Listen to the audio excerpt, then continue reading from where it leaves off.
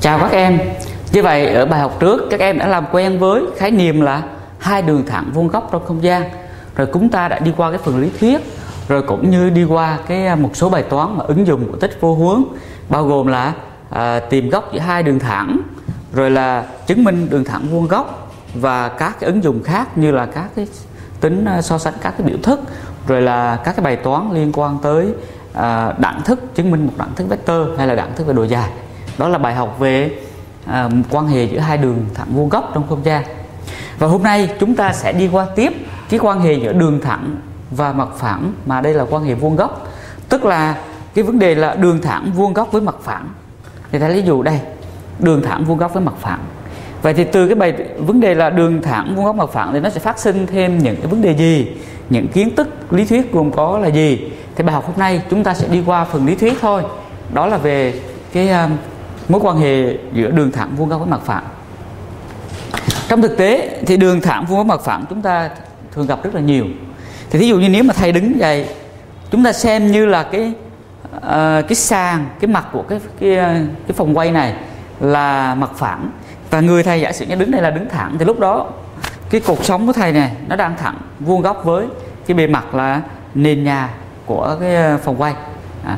hoặc là các em thấy như đây là mặt bảng, thì nếu như mà thầy lấy cái cây này, thầy chỉ một cách vuông góc vậy, thì cái cây này thì đang vuông góc với mặt bảng à. rồi là khi mà thầy giang tay ra như vậy, nếu mà mình giang một tích, gần một cách tương đối gần đúng, thì cái cánh tay này này nó lại vuông góc với cái bức tường phía bên tay trái à. và trong thực tế chúng ta thấy là uh, mặt phẳng uh, đường thẳng vuông góc với mặt phẳng rất là nhiều các em thấy ví dụ như một cái mặt bàn nó có bốn cái chân mà cái chân mà thẳng đứng á, thì lúc đó cái chân bàn lại cũng vuông góc với cái mặt phẳng bàn à. và trong không gian thì chúng ta thường biểu diễn vuông góc vậy thí dụ đây là mặt phẳng alpha và đây là một đường thẳng D thì khi đường thẳng D vuông góc với mặt phẳng alpha chúng ta sẽ ký hiệu theo kiểu như vậy và giả sử đây là cái điểm mà nó cắt cái mặt phẳng alpha như vậy thì từ đây đi xuyên qua cái mặt phẳng này. Này thì chúng ta có là mặt phẳng à, đường thẳng vuông góc với mặt phẳng. À. rồi cũng có thể cái người người ta dừng cái mặt phẳng vẽ cái mặt phẳng theo cái bề đứng như vậy này. Beta đứng như vậy và đường thẳng D nằm ngang thì lúc đó chúng ta cũng có nó vuông góc và nó xuyên qua cái mặt phẳng này tới đây. Tới đây cũng là những cái hình ảnh về đường thẳng vuông góc với mặt phẳng và như vậy phần đầu tiên chúng ta sẽ đi qua là một lá mã. Đường thẳng vuông góc với mặt phẳng.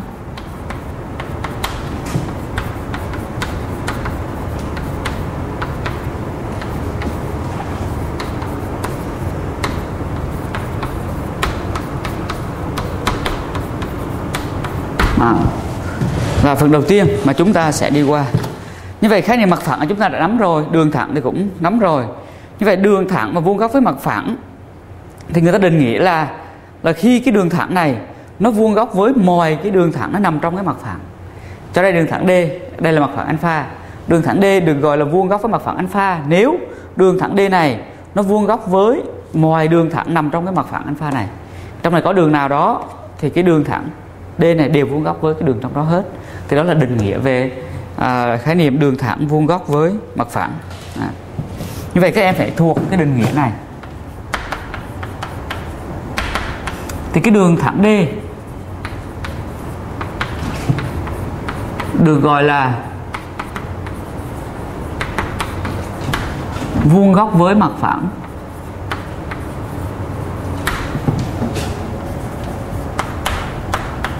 Với mặt phẳng alpha nếu đường thẳng D này nè nó vuông góc với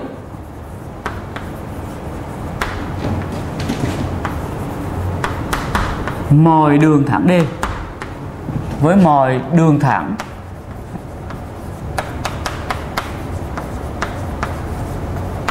à, nằm trong mặt phẳng alpha. À, đây là định nghĩa như vậy bằng hình vẽ các em có thể hình dung như vậy này đây là mặt phẳng alpha. Và đây là đường thẳng D.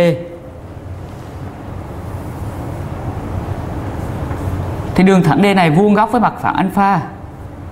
Nếu như đường thẳng D này nó vuông góc với mọi đường thẳng nằm trong mặt phẳng alpha này